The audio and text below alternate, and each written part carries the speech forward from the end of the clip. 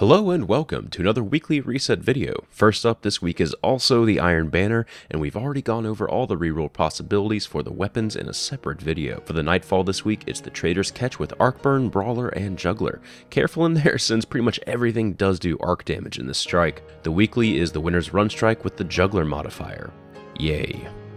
For Prison of Elders 32, it's Valus Trau'ug with Juggler. 35, it's Urrox with Solar Burn, and Skolas this week has the Brawler and Juggler modifiers. Let's move on over to Variks' inventory real quick. This week he has Helms. Hunters and Titans have Helms with Intellect Discipline roll with grenade hits restore melee energy, more super energy from non-guardian kills, and Hive Arbiter.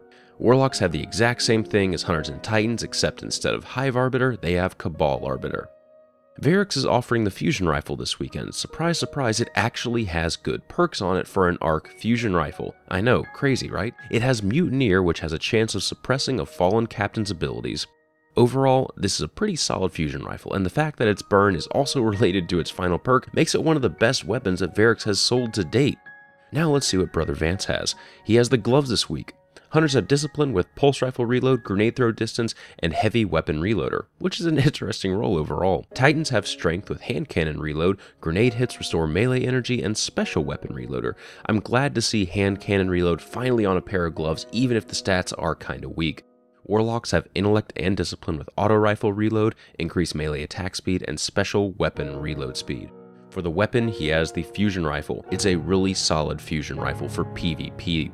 They built it to be switched to and hip fired, kind of like a legendary Plan C. I'll be keeping this one in my bank for if they ever decide to buff fusion rifles.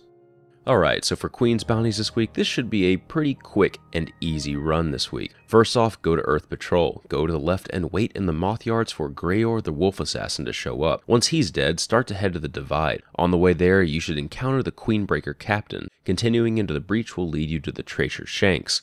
They should be pretty easy to take out since, you know, they're Shanks. Next stop is the Moon. Since this one has you do the Archon Slayer mission, go ahead and load into that and kill the first wave of Hive enemies. After that though, leave the area and go to the top of the Hellmouth so you can wait for Velenix the Ravenous. Once he's dead, go back down into the Hellmouth and kill Skorix the Archon Slayer. That way you don't have to load into the moon multiple times. After that, go to Venus Patrol and make a small trek to the Nexus starting area. In this first room is the Next Gen branch, and you should be able to find the repeater shanks off to the right in there. Like I said, it's a pretty easy week. So I hope you guys found some of this information helpful. This has been Patrick Casey with Planet Destiny, your guide to the Destiny universe.